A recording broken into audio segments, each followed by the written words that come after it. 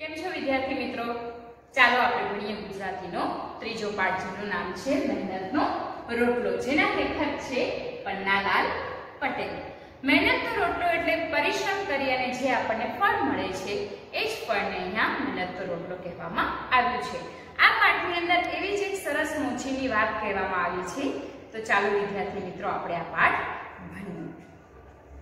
આ એક બોધ કથા છે, જેની અંદર શ્રમ સ્વાશ્રય અને પ્રમાણિકતાનો મહિમા ગાવામાં આવ્યો છે. સ્વાશ્રય એટલે પોતાની ઉપર જ આશ્રય રાખી બીજા કોઈનો આશ્રય રાખ્યા વિના જે વ્યક્તિ કામ કરે છે તેને સ્વાશ્રય કહેવામાં આવે છે. પ્રમાણિકતા એટલે ઓનેસ્ટી પ્રમાણિકતાની સાથે જ આ જે મોચી છે એણે પોતાનું આખું જીવન ગુજાર્યું છે. તો ચાલો મિત્રો આ વાર્તા વિશે સમજીએ. કાશી નગરીમાં એક મોચી રહેતો હતો. તે બહુ જ પ્રમાણિક હતો અને સંતોષી પણ એટલો જ હતો. એકવાર સાધુ આવી અને એને પૂછવા લાગ્યા કે, મોચી ભગત, મારા પગરખા સીવાનું શું લેશો? કે શું પડે? એક મોચીને ત્યાં એક સાધુ મહારાજ આવે છે અને તેને પૂછે છે કે, ભાઈ, તમે મારા પગરખા પગરખા એટલે પગમાં પહેરવાના ચપ્પલ. પહેલાના સમયની અંદર મોચી જે હાથેથી ચપ્પલ બનાવતા હતા, એ જ લોકો પહેરતા હતા. તો સાધુ પૂછે છે, ત્યારે મોચી જવાબ આપે છે કે, દોઢ રૂપિયો. મહારાજ ત્યારે સાધુ કહે છે કે બાજુવાળાને ત્યાં તો હું પૂછવા ગયો તો એને તો મને બે રૂપિયા કહ્યા. તો તમે કેમ મને દોઢ રૂપિયો કહો છો? કહેવાના તો દોઢ રૂપિયો, પણ લેવાના કેટલા? ત્યારે મોચી જવાબ આપે છે કે જેટલા કહેવાના, એટલા જ લેવાના છે. સાધુને બહુ જ નવાઈ લાગી. બીજા તો બે બે રૂપિયા કહે છે, પણ ઘટાડીને દોઢ રૂપિયો કયો છે? મોચી સાધુ સામે જોઈ રહ્યો અને હસવા લાગ્યો. તેણે કહ્યું, જે કહેવાના એ જ લેવાના, મહારાજ. આપની ઈચ્છા હોય તો બનાવી આપો. અને મૂચી છે એ બહુ જ પ્રમાણિકતાથી એને કહે છે કે જો તમારી ઈચ્છા હોય તો હું તમારા પગરખા બનાવી આપું. સાધુ કહે છે, અચ્છા, બનાવીને ક્યારે આપશો? ત્યારે મોચી કહે છે કે, પરમ દિવસે. મોચી કહે છે, પરમ દિવસે. ત્યારે સાધુ કહે છે, ભલે, તો હું બે દિવસ પછી મારા પગરખા લેવા આવીશ. બીજો દિવસ થાય છે અને સાધુ છે મોચીને ત્યાં જઈ પહોંચે છે અને વળી પાછો એને પૂછવા લાગે છે કે મોચી મારા પગથા પરમ દિવસ સુધી થઈ જશે ને? ત્યારે મોચી જવાબ આપે છે કે, સાધુ મહારાજ, તમે જરાય ચિંતા ન કરો. તમારા પગથા મેં જે દિવસે કહ્યા છે, એ દિવસે જ તમને મળી જશે. વળી પાછું બે દિવસ રહી અને સાધુ માણસ તેને ત્યાં આવે છે અને એને વિચાર થાય છે કે લાવને જરા મોચીને ત્યાં આટો મારી આવું.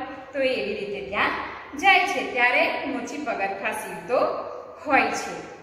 અને વળી પાછો તે મોચીને ત્યાં જઈ અને પૂછે છે કે મારા પગરખા કાલે તૈયાર થઈ જશે? ત્યારે મોચી ભગત કહે છે કે, હા મહારાજ, કાલે તમને તમારા પગરખા મળી જશે. તમને એવું તો નથી લાગતું ને કે હું ક્યાંય જૂઠું બોલું છું? શું કામ નાહકના ધક્કા ખાવ છો અહીંયા? હા, નાહકના એટલે નક્કામાં ધક્કા શું કામ ખાવ છો? સાંજે આવજો, તમને તમારા પગરખા મળી જશે. સાંજના સમયે સાધુ આવ્યા ત્યારે પગરખા બિલકુલ તૈયાર હતા. આ જોઈ અને સાધુ મોચી ઉપર ખૂબ જ ખુશ થઈ ગયા અને તેને સાચુકલો છે. સાચુકલો એટલે એકદમ સાચો વ્યક્તિ.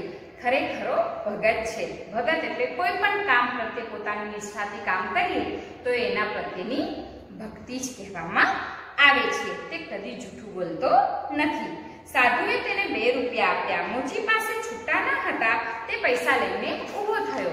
મહારાજ છે, જે સાધુ મહારાજ હતા, એણે મોચીને બે રૂપિયા આપ્યા. ત્યારે પચાસ પૈસા તેની પાસે છૂટા હતા તે ઊભો થઈ અને સામેની દુકાને તે પૈસા છૂટા કરાવવા ગયો. સાધુ, જરાક ઊભા ઊભા રહો મહારાજ. હું તમને સામેની દુકાનેથી છૂટા લઈ આપું છું, પરચુરણ લઈ આવું છું. પરચુરણ એટલે છૂટા પૈસા. પૈસાની આપણા તરફથી તમાકુ પીજો આવું કોણ કહે છે? સાધુ મહારાજ. જે બચેલા પચાસ પૈસા હતા, એ જ્યારે મોચી ભગત લેવા જાય છે, ત્યારે સાધુ શું કહે છે? કે રહેવા દે મોચી ભગત, આજે વધારાના પૈસા છે, એનાથી તમે શું પીજો? તમાકુ પીજો. એટલે મોચીએ કહ્યું કે હું તમાકુ પીતો નથી મહારાજ. તો આપણા તરફથી પગરખા સેવા માટેની દોરી લાવજો. જ્યારે મુચીએ કહ્યું કે હું તમાકુ નથી પીતો ત્યારે સાધુએ તેને બીજું ઓપ્શન આપ્યું કે તમે આના પૈસાથી દોરી લઈ લેજો. ના મહારાજ, હરામનો પૈસો મને ના ખપે. હરામનો પૈસો એટલે કે કોઈ પણ મહેનત વગરનો મફતનો પૈસો એને જોઈતો નથી. મોચી સામેની દુકાનેથી પરચુરણ લેવા ગયો. સાધુ તો મોચીની ભાવના જોઈ અને તેના ઉપર ખૂબ ખુશ થઈ ગયો. અને મોચીની આ ભાવના જોઈ અને સાધુ ખૂબ જ ખુશ થઈ ગયો. તેમણે હળવેકથી રહી અને પોતાની જોડીમાંથી પારસમણી કાઢ્યો. પારસમણી એટલે એક એવી મણી જેને લોઢા સાથે ઘસવાથી એ વસ્તુ છે, લોઢું છે, શેમાં પરિવર્તિત થઈ જાય છે? સોનાની અંદર. હા, એવું લોક માન્યતા છે. એવું આપણે ક્યારેય રૂબરૂ જોયું નથી, પણ આ વર્ષોથી આ એક માન્યતા ચાલતી આવે છે. અને એવા મણીને શું કહેવામાં આવે છે? પારસમણી. કોઈ જુએ નહીં, એ રીતે મોચીના ઓજારો પર પારસમણી ઘસી દીધા અને કોઈની નજર ન પડે એવી જ રીતે તેણે પારસમણી લઈ અને મોચીના ઓજારો હતો એના ઉપર ઘસી દીધા. બધા ઓજારો સોનાના થઈ ગયા અને સાચે બધા ઓજારો કેવા બની ગયા? સોનાના.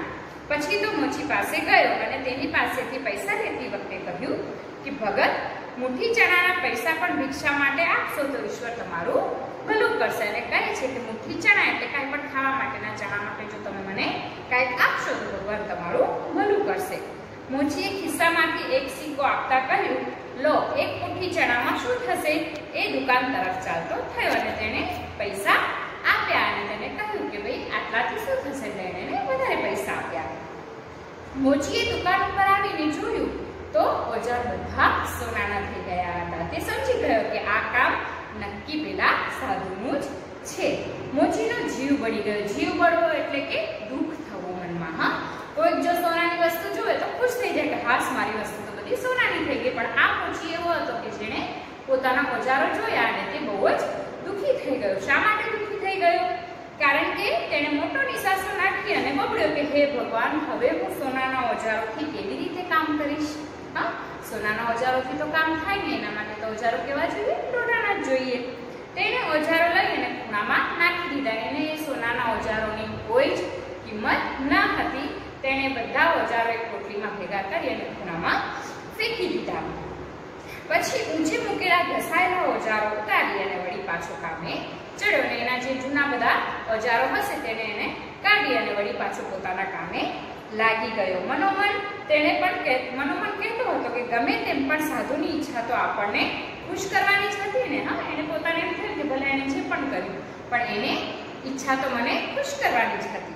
એક વાર તે ભજન ગણગણતો નીચે નજરે સીવતો હતો, ત્યાં કોઈકનો અવાજ આવ્યો. કેમ છો મોચી ભગત? કાંઈક પોતાનું કામ કરતો હશે ને અચાનકથી જ એને કોઈ અવાજ આપે છે અને કહે છે કે, કેમ છો મોતી ભગત?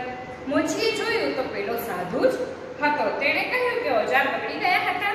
એ જ ને તમે? બગાડી ગયા હતા? એ શું કહે છે કે, તમે ઓલો જ સાધુ છો ને જે મારા બધા ઓજારો બગાડી ગયા હતા? એમ ના કીધું કે સોનાના કરી ગયા હતા. સાધુને નવાઈ લાગી. તેમને તો હતું કે પોતાને ઓળખતા જ મોચી ભગત તેના પગે પડશે અને તેને નમસ્કાર કરશે અને એનો આભાર પણ માનશે. એના બદલે તેણે તો તેને ઠપકો આપ્યો. ઠપકો આપવો એટલે કોઈ પણ વાત સંભળાવવી સાધુને રહેમ પડ્યો કે આ બિચારો સોનાને પિત્તળ ધારી બેઠું છે. ધારી બેસવું એટલે માની બેસવું. તેમણે કહ્યું કે મોજી ભગત ઓજાર બગાડ્યા નથી, સોનાના બનાવ્યા છે. ક્યાં છે? નાખી તો નથી દીધા ને અને સાધુ છે મોચીને પૂછે છે કે મેં તમને જે ઓજારો બગાડી નથી આપ્યા, એને મેં સોનાના કરી આપ્યા છે. ક્યાંક તમે એને ફેંકી તો નથી દીધા ને મને ખબર છે મહારાજ, સોનાના છે. પણ એ સોનું મેં મારા બાવડાના બળથી ઓછું મેળવ્યું છે. બાવડાના બળથી એટલે જાત મહેનતથી હા, પોતે મહેનત કરી અને જે મેળવે એને કહેવાય બાવડાના બળથી. આ એક રૂઢિપ્રયોગ છે. તો મોચી છે કે મેં થોડું મારી મહેનતથી કમાવ્યું છે. આ તો તમે મને સોનાનું કરી આપ્યું છે. આવું મફતનું સોનું શું કરવું છે? આવું મોચી કહે છે. એ પડ્યા છે ખૂણામાં. તમને પાછા લઈ જાઓ ને મોચી છે. કહે છે? કે ઓ યા તમારા સોનાના ઓજારો તમે જોઈએ તો તમે પાછા લઈ જાઓ. સાધુએ મોચીને શિખામણ આપતા કહ્યું કે મોચી ભગત, તમને કશી ગમ છે? હા? શું કહે છે? ગમ છે એટલે કોઈ ભાન છે તમને કોઈ વસ્તુની? સોનું વેચી અને પૈસા બનાવો અને મજા કરો સાધુ કહે છે કે આ સોનું વેચો, મસ્ત મકાન બનાવો, ધંધો મોટો કરો અને મજા કરો. આ કાચી દુકાનને પાકી કરો અને તમારી જે કાચી દુકાન છે એને પાકી બનાવો.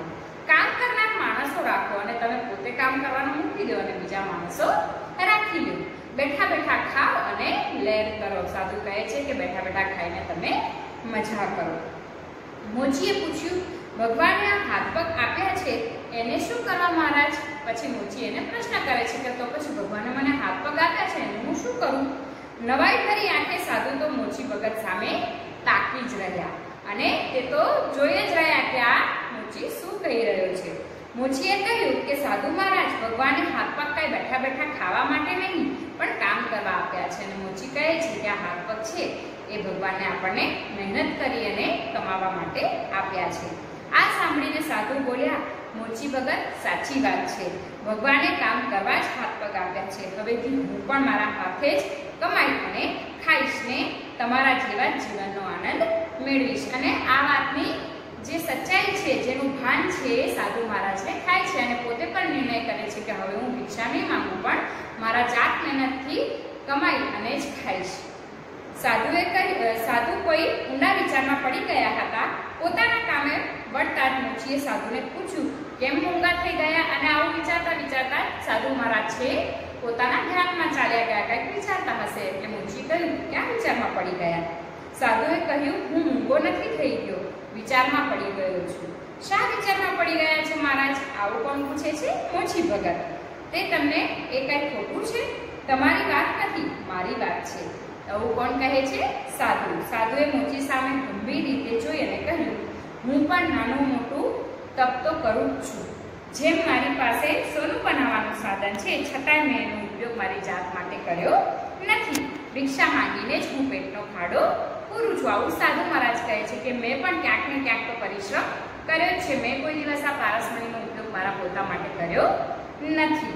આજે પણ તારી આ ભિક્ષાને જે ગર્વ ગર્વ મારામાં હતો તે પણ તે તેણે કાઢી નાખ્યો છે. અને સાધુ મહારાજ કહે છે કે આ જે નાનો મોટો મારી અંદર અભિમાન હતો, એ તારી આ વાતના લીધે તેને બધાને પીગળાવી દીધું છે અને મારું મન પીગળી ગયું છે. આજથી તમે મારા ગુરુ ને આજથી હું તમારો આ દાખલો યાદ કરીને મારા ગર્વને ધોતો રહીશ. અને સાધુ કહે છે કે આજથી તમે મારા ગુરુ છો. અને મારો જે આ ગર્વ છે, મારો અભિમાન છે, એને હું આખી જિંદગી આ વાતને યાદ કરીને ધોતો રહીશ. મોચી કામ કરવું ભૂલી ગયો અને સાધુની પીઠ પાછળ જોતો જ રહ્યો. અને આવું બોલીને જ્યારે સાધુ ગયો, ત્યારે મોચી થોડી વાર માટે પોતાનું કામ ભૂલી ગયો અને સાધુની વાતને વિચારતા વિચારતા એને જોતો જ રહ્યો. કામે વળતા બળબડ્યો કે આપ જ ખરા સાધુ છો. આવું કોણ બળબડ્યો મોચી ભગત. અને મનમાં ને મનમાં તેણે કહ્યું કે આપ જ ખરા સાધુ છો. તો વિદ્યાર્થી મિત્રો, આ વાર્તા ઉપરથી આપણને એક વાત ખબર પડી કે હંમેશા આપણે પોતાની મહેનતથી જ પૈસા કમાવા જોઈએ અને તેનું ફળ મેળવવું જોઈએ. કોઈની ઉપર આધારિત ના રહેવું જોઈએ.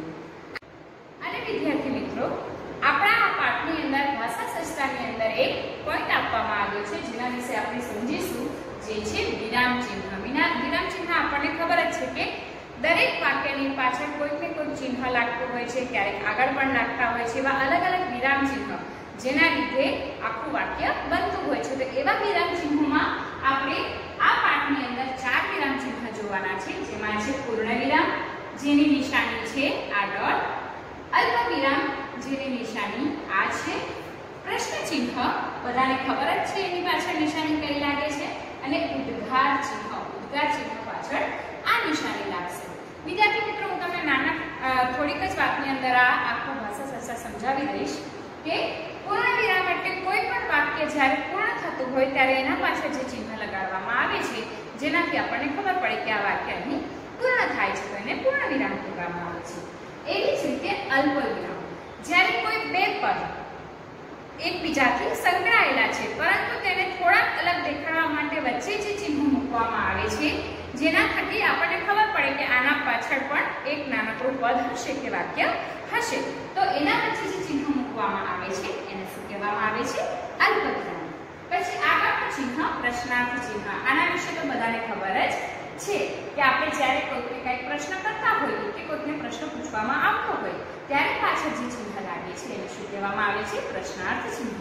અને ઉદ્ઘાર ચિહ્ન. ઉદ્ઘાર ચિહ્ન એટલે જ્યારે તમે કોઈ પણ વસ્તુથી આશ્ચર્યચકિત થઈ જાઓ કે નવાઈ પામો. એવું કોઈ પદ આવે કે એવું કોઈ વાક્ય આવે કે એવી કોઈ ઘટના આવે, ત્યારે જે ચિહ્ન મૂકવામાં આવે છે એ કયું છે ઉદ્ગાર ચિહ્ન. તો વિદ્યાર્થી મિત્રો, આ પાઠની અંદર ભાષા સંસ્થાની અંદર આપણે આ ભાષા સંસ્થા તમારી ટેક્સ્ટ નોટબુકની અંદર લખવાની છે રૂઢિપ્રયોગ પણ લખવાના છે અને શબ્દાર્થ પણ લખવાના છે. અને પાઠની અંદર આપણે વચ્ચે સમજતા જ ગયા કે કયા કયા રૂઢિપ્રયોગના અર્થ થાય છે. તો વિદ્યાર્થી મિત્રો આ પાઠનું સમજૂતી અહીં પૂરી થાય છે. Thank you very much